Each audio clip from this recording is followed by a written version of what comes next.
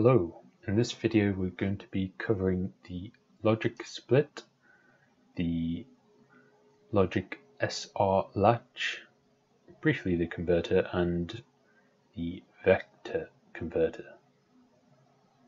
So, logic split. A logic split has four outputs. The output high is directly linked to the input. The output low is the opposite, kind of like a NOT gate. The pulse high is post high when the input turns on. You can't see it here. And the pulse low is turned high when the input is turned off.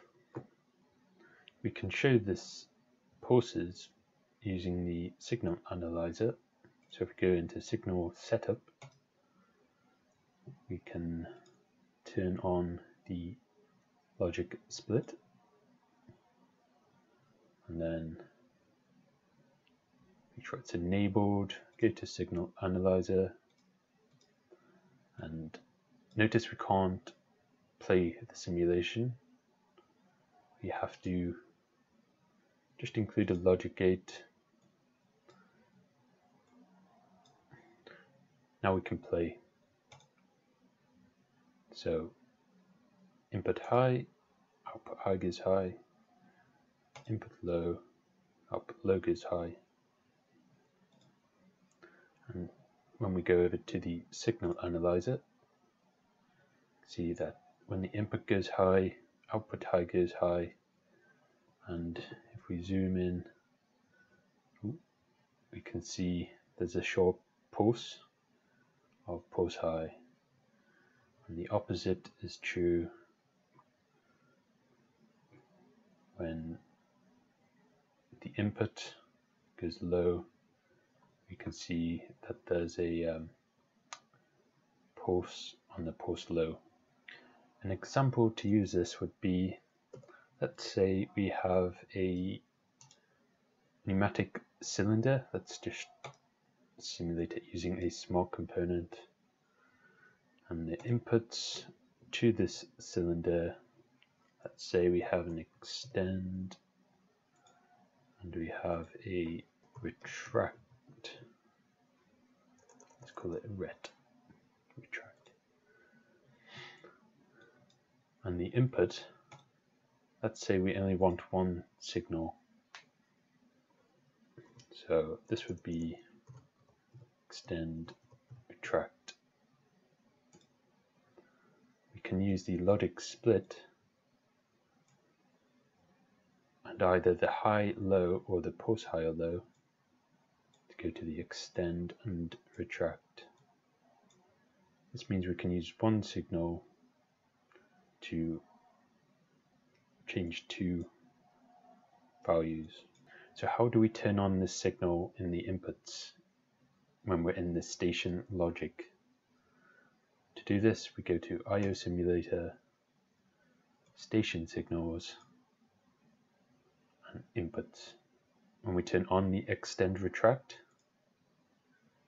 we can see goes to the logic split, turns output high on, and extend is on, and retract is off.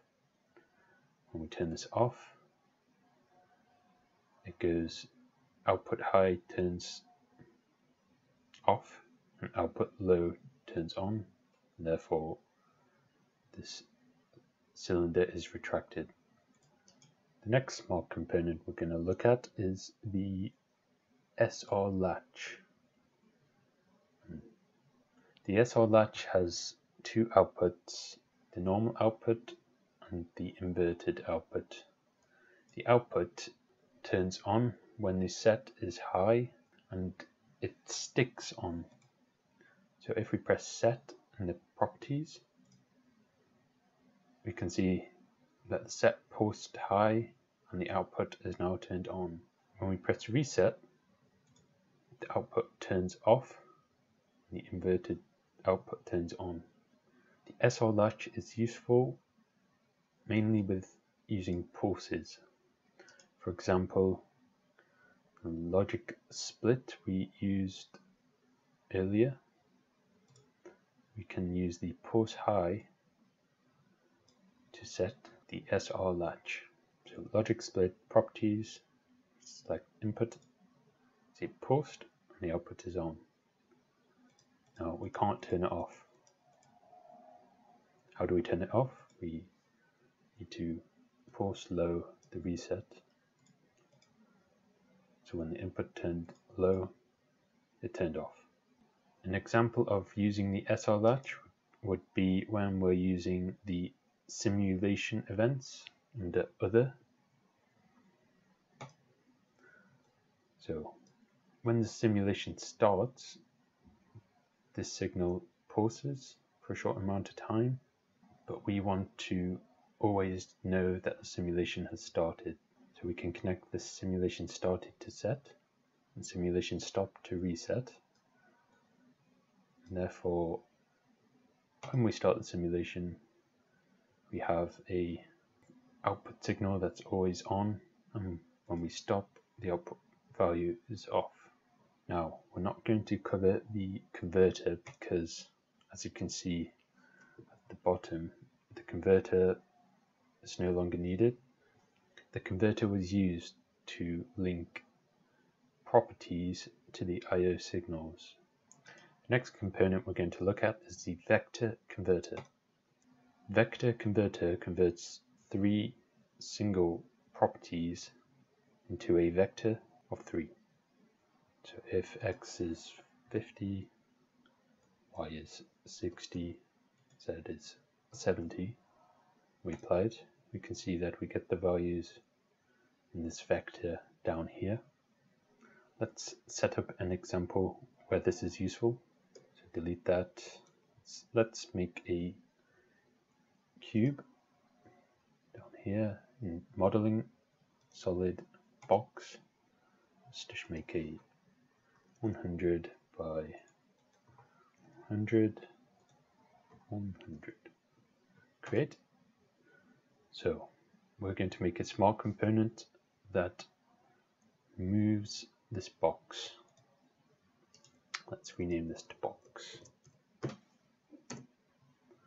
So modeling smart component and we're going to rename this box positioner.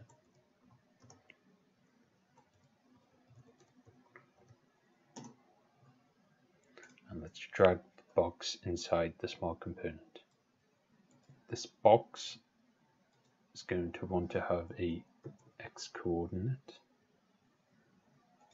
of quantity of length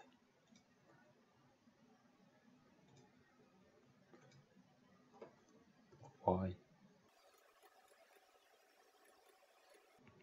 and z.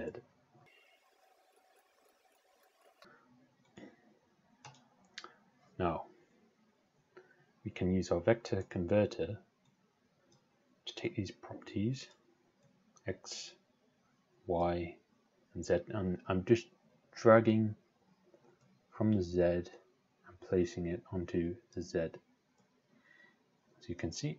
And so, if we right click the box positioner, properties, we can update this x, y, and z, let's say 50,